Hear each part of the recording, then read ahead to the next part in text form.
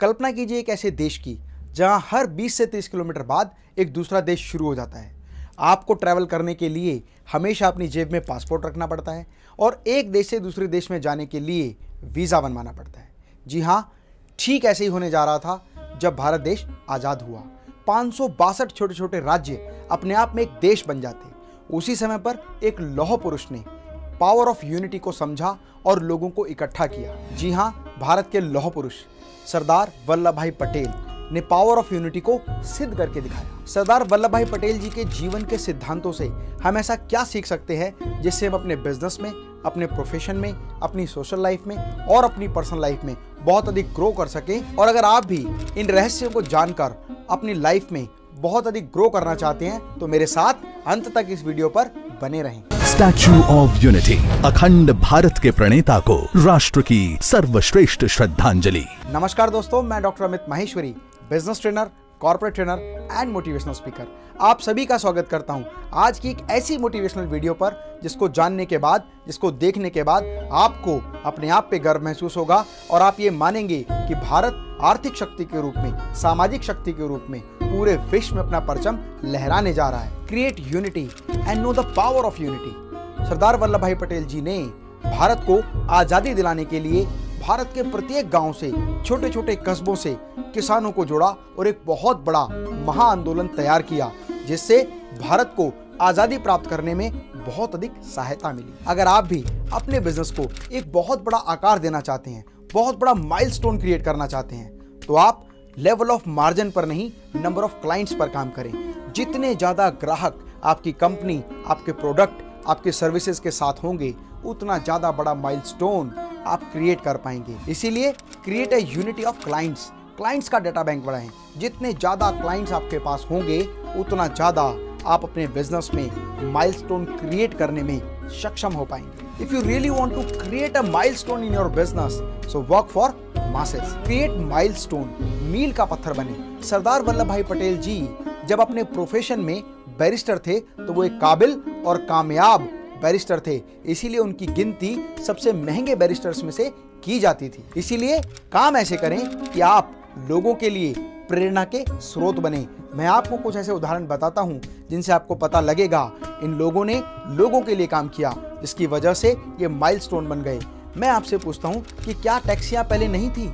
Yes taxi पहले से थी, लेकिन ओला कैब ने एक ऐसा माइलस्टोन क्रिएट किया कि टैक्सी सर्विसेज़ को आम आदमी तक पहुँचाया, जिसकी वजह से एक बहुत बड़ा माइलस्टोन ओला ने क्रिएट किया। क्या होटल पहले नहीं थे? जी हाँ होटल भी पहले से थे, लेकिन ओयो रूम्स ने एक बहुत बड़ा माइलस्टोन क्रिएट किया। होटल इंडस्ट्री को, होटल सर्विसेज़ को कम दामों पर आम आदमी तक पहुँचाया क्या ज्वेलर्स के शोरूम पहले नहीं थे? जी हाँ पहले से थे। लेकिन माई आभूषण ने एक बहुत बड़ा माइलस्टोन क्रिएट किया। ज्वेलर्स को एक ऐसा प्लेटफॉर्म दिया जहाँ वो अपने प्रोडक्ट को बेच सकते हैं और कंज्यूमर को ज्वेलरी इंडस्ट्री में प्राइस कंपटीशन के साथ क्वालिटी कंपटीशन को चेक करके प्रोडक्ट खरीदने में सक्षम बनाया।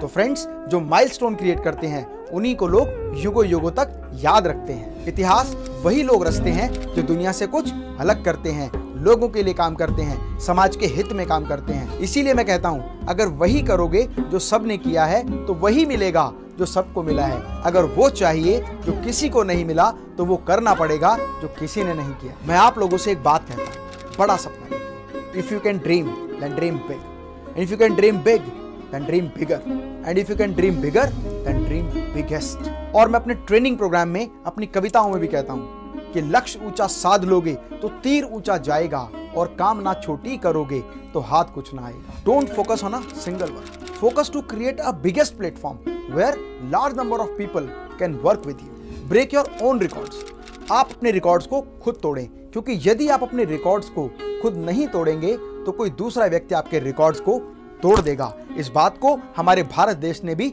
सिद्ध कर दिखाया। यूएसए का स्टैच्यू ऑफ़ लिबर्टी जो अपने आप में यूएसए के लिए एक रिकॉर्ड था, उसे चाइना ने ब्रेक कर दिया। चाइना ने बनाया स्प्रिंग टेंपल ऑफ़ बुद्धा जो पूरे विश्व के लिए एक रिकॉर्ड था। उसकी हाइट 128 मीटर्स और अब ये रिकॉर्ड भारत ने तोड़ दिया।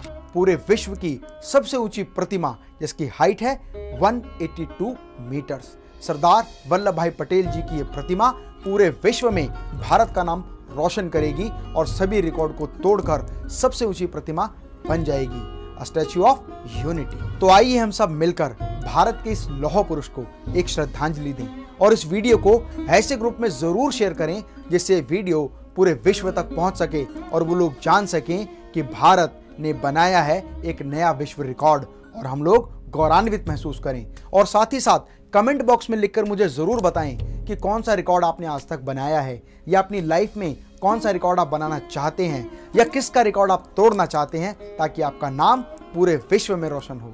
मैं डॉक्टर अमित माहेश्वरी आपके सुनहरे भविष्य की कामना करता हूँ। जय हिंद जय भारत।